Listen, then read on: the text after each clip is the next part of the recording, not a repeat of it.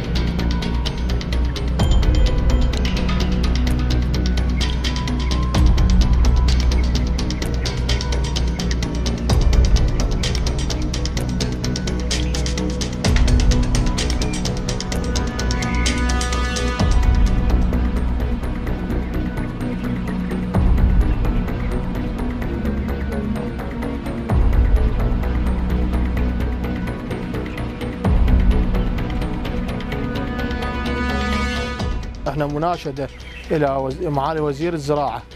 ليشوف حلنا إن هاي الطريقة مال الدواجن هاي الكارثه اللي حلت بنا. أنا رابط 16000 طير هسه ما تبقى من من 2000 طير هلاكات. يعني هلاكات ذني وحتى ال 2000 ذني راح يخلصن. أنا باني مشروع ومجاز وتعبان عليه وصارف عليه راح أسده. يعني المشروع إذا بقى هيك راح أسده. ويعني أنا مو بس إلي نفسي كل أهل الصاحبيه هواي أهل المشاريع تضررت نريد مناشدة من وزير الزراعة. ان يتابعنا يشوف هاي الفيروسات ليش ما- تجي لقاحات؟ ليش ما تدخل لقاحات؟ الصحة ليش ما تجيب لقاحات؟ هسه باقي الدول هم هيك موجودة؟ لازم أكو أكو لجنة صحية تفتر على المشاريع كل شهر كل يعني لو بالشهر مرة يشوفون أكو إصابات يحلون القاعات القاعه المصابة يسدوها يعقموها ويعفروها ويسدوها. عاود ما تكرر الإصابات هاي. ليش هسه الخسائر الفادحة هيجي؟ شنو ذنبنا إحنا؟ شنو ذنبنا إحنا؟ غير إنتاج محلي وإنتاج يدعمونا لو ما يدعمونا. غير يدعمون الانتاج المحلي يدعمون القاعات دواجن أهل الزراعة. إحنا مزارعين ناس مزارعين. على الله وعلى الزراعة. ما نعرف كيش. لا عندنا تعيين لا عندنا راتب. على الله وعلى الزراعة. بنينا مشاريعنا بعنا من قيعاننا من أراضينا وسوينا هاي المشاريع وهسه جاي تخسر. هاي الربطه الثانية أو الثالثه جاي تخسر. السوق نازل والنوبه جت الإصابة. وما عندنا غير الله وال- والزراعه وزير ما الزراعه سبب هذه الوفيات في الدجاج بالنسبة له؟ فيروسات اكو بالجو أكو فيروسات بس ماكو جاي تدخل لقاحات. جاي يجيبوها الدك- الدكاترة خارجين بيطريين يعني مو من ضمن الزراعه عنده إجازة هو مجاز دكتور بيطري يعني محترم بس تجي لقاحات تجيها من برا على طريقته الخاصة. إيش عجب يدخل على الخاص ما يدخل على, الوزارة؟ ليش ما تجيبها الصحة؟ ليش بس على البيطريين يجيبوا هاللقاحات يعني ال- بشراي بفلوس نشتري. الدولة ما جاي تجيبها. يعني ما توفر لكم ماكو كل لقاح عند الدولة. ماكو كل لقاح لهاي الفيروسات تشترون على حسابكم؟ دكتور على حسابنا موجود. أنتم تشترون على حساب؟ على حسابي جاي اشتري جاي اشتري دقان اللقاحات على حساب من من من, من نفقتي الخاصة والأدوية كلها على الخاصة. تعقيم ماكو عند الدولة. هسه إجوا هم من جيبتهم البارحة. إجوا عفروا المنطقة. على مود هذا أكو مشاريع هواي بصفي. إجوا عقموا وحيطوا القاعة؟ ماكو كل شيء ماكو تعقيم إجوا شرحوا وراحوا. والله مفاجأة صدت عده اول بدايه 300 كانت 100 صارت 300 النوب طفر ل 3000 طير. بقى ثلاث أيام يومية 3000 اثنين ونص لما هاي هسه الوضعيه لحد الآن هاي الهلاكات الموجودة متكومه قدامكم. ولحد الآن جاي يرفس الطير قدامكم جاي يرفس ويموت. جاي تشوفوه الخسائر إيش قد تقدر حاليا؟ الخسارة أنا بين علف وأفراخ خسارة الطير مشتريه ب 700 دينار الفرخ الواحد. طن العلف ب 800 لقاح الطير مك- مكلف 100 دينار. والعمال 500 غاز غاز أشتري. كله على حسابي و- 36 مليون. لحد الآن أنا صارف على القاعة. 36 مليون على هاي القاعة صارف بعد اموال كاملة. وأنا أطلب من يومكم الصوت ان يوصل. كل الاجراءات ما مسوي. أنا رحت دقيت باب الزراعة وجيت على قناتكم المفضلة وللصحه ما عندي كل الاجراءات هاي أنا توصلوا لي صوتي وتشوفون له حل. أنا إذا هيك راح أسد مشروعي مشروعي راح ين- ينسد. في حالة لم تتحقق مطالبك. أسد المشروع. نهاينا فلشة. منين أجيب هاي؟ الناس تطلب منين أجيب لها فلوس؟ يطلبني أبو العلف يطلبني أبو الأفراخ ويطلبني الدكتور منين أجيب له؟ مضطر راح افلشه وأبيع شيء اللي مالي وابيع عنه وأسدد الناس. زين مو يعتبر هذا إنتاج وطني؟ محلي؟ وانتاج وانط- وطني محلي بس ما حد ما حد جاي. ماكو دعم كل دعم ما جاي له. ما شفت الحكومة اهتمت بال لا والله ماكو كل شيء نهائيا. نهائيا ماكو. هالدجاج يدخلنا مهرب كان يدخلنا عن طريق إيران؟ على اربيل يوصلنا هنا للكوت محافظه واسط نزلوا الأسعار علينا. وهجموا بيوتنا. هو يعرفون وبتجار أعرفهم واحد اثنين ثلاثة جاي يجيبون بالكوت ويجيبون يجيبون دجاج محلي من إيران يدخلنا عن طريق اربيل ويوصلنا اللي جاي هم منعوه سووا كتب ناشدنا ودينا ما حد ولا أحد وصل حل ولا أبد.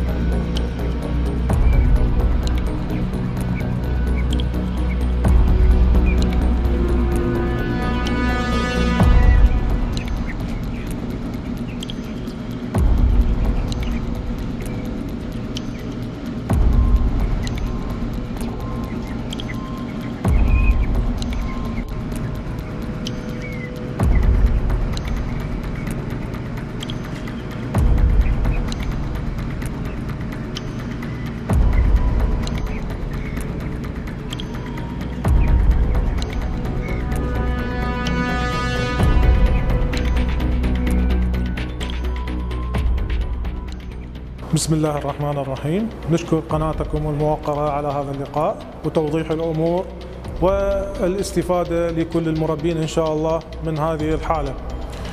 الحقيقة اللي صار يوم السبت اللي هو يوم كان 30 بالشهر آه، وردتنا معلومات عن المربي حسين علاوي بوجود إصابات وهلاكات عالية في الحقل. بالمباشر على الرغم بأنه يوم عطلة بالمباشر تكوننا فريق عمل برئاسة السيد معاون المستشفى البيطري والسيد مسؤول وحدة الدواجن والسيد مسؤول الوبائية وكان لقائهم مع المربي والعمل الميداني في الحقل. عندنا حقيقة بالرصد والتحري اللي إحنا متبعيه خلال هاي الفترة بعد ظهور الإصابة في العراق في سامراء عندنا خطة اللي نسميها رصد وتحري عن مرض فلونزا الطيور ال H5 وعندنا ال- الفحوصات السريعة لهذا المرض والحمد لله أجروا مباشرة الفحوصات السريعة لهذا المرض وكانت نيجاتيف كانت سالبة والقطيع خالي من مرض فلونزا الطيور نوع ال H5 اللي هو النوع الخطر. بالإضافة إلى أنه تم أخذ العينات مباشرة عينات الدواجن وأرسلناها إلى المختبرات المركزية في بغداد. وإن شاء الله اليوم نهاية هذا الدوام راح تطلع النتائج ونطمئن بأنه خالي من انفلونزا الطيور.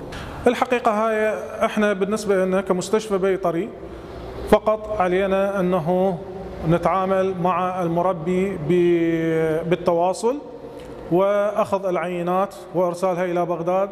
فيما إذا لو لا سمح الله ظهرت حالة انفلونزا الطيور.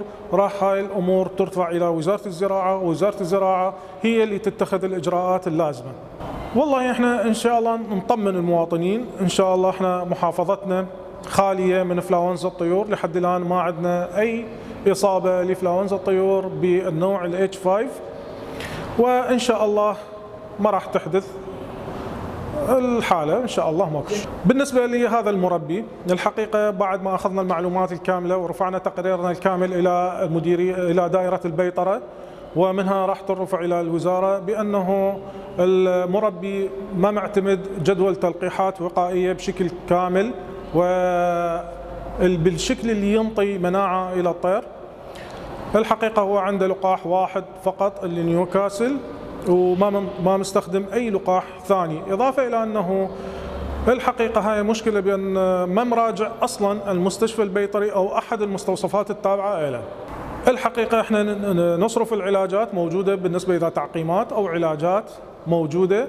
بالإضافة قبل هذني عندنا الكادر الاستشاري. يعني إحنا ممكن أنه نعطي برنامج تلقيحات كاملة ممكن أنه نعطي إرشادات كاملة حول هذا المرض أو كل مرض يخص الدواجن. الحقيقة هاي عندنا واحدة من المشاكل أنه التواصل مو تواصل كامل ونحث المربين بأنه التواصل مع المستشفى البيطري عندنا كوادر متخصصة جدا عالية التخصص. في مجال أمراض الدواجن وفي كل الأمراض الحقيقة مو فقط أمراض الدواجن لكن أمراض الدواجن حتى ممكن انه نساعدهم بوضع برامج للتعقيمات وضع برامج للتحصينات الوقائية.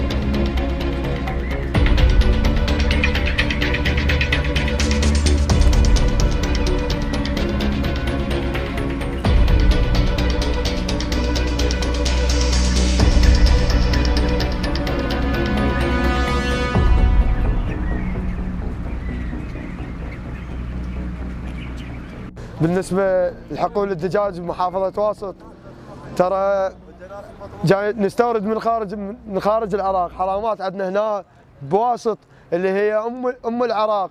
بها منتوج. جاي جاي شو يسوون؟ يدعمون المنتوج الخارج. ليش؟ إحنا غير هذا بلدنا ندعم المنتوج الوطني.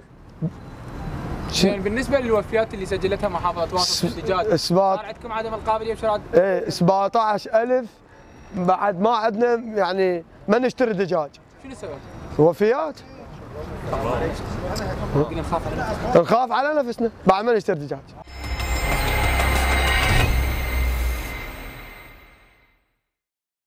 نطالب الحكومة المركزية والمحلية في محافظة واسط بأن آه، هذا الدجاج يعني إحنا نعرف أكو دجاج تمر عليه انفلونزا الطيور بس اللي دجاج اللي مات عندنا بالكوت حاليا 17000 دجاجة ما نعرف شنو هي نتيجتها. فالعالم قامت تخوف من هاي المسألة. فنطالب الحكومة المركزية والمحلية بأن توفر لجان. هاي اللجان مسؤوليتها تفتر على القرى والأرياف لمتابعة هذا الموضوع. لأن هذا الموضوع خطير يعني. إحنا بعد ما تقدر تشتري يعني انتشر في محافظة واسط. فنطالبهم بأن هذه اللجان تعبوية لجان من البيطرة لأن مسؤولية البيطرة يعني البيطرة تطلعهم وتخليهم يفترون على الحقول مال الدواجن. لأن هذا مرض يجوز آه، خطير وما نعرف شنو مرضها يعني. هسه انفلونزا الطيور يعني يعلنون عنها بها انفلونزا الطيور. طلعت لجان طبية آه، من آه، قبل صاحب ال- الحقل فقالوا له هاي مو انفلونزا الطيور. الشغلة شوية ماخذة يعني مثل الخوف عند المواطن. فالحكومة لازم تاخذ دورها والحكومة المحلية ما ماخذة دورها أصلا في هذه المسألة والحكومة المركزية متغاضى عن هذا. فمو تقول انفلونزا الطيور انفلونزا الطيور يعني مرض انتشر بصلاح الدين في بابل في بعض المحافظات. صار عندكم تخوف وعدم شراء الدجاج؟ يعني هسه إحنا بالمحافظة جاي نخاف من هذا الوباء الجديد اللي بهذا الحقل. 17000 دجاجة بهذا الحقل فما نعرف مصيرها شنو هذا؟ شنو مرضها؟ شنو الوباء اللي أصابها؟ والله حاليا متخوفين من هذا المرض الجديد اللي جاي يصير عندنا في محافظة واسط فنطالب الحكومة يعني بأن تطلع لجان يعني مو تبقى بس على أبو الحقل محصوره، أبو الحقل احتمال يعني ما يهمه أي شيء، حتى إذا مريض هذا الدجاج آه، هو يبيع ما يدري شكو ماكو، فالمواطن هو اللي راح يتحمل المسؤولية.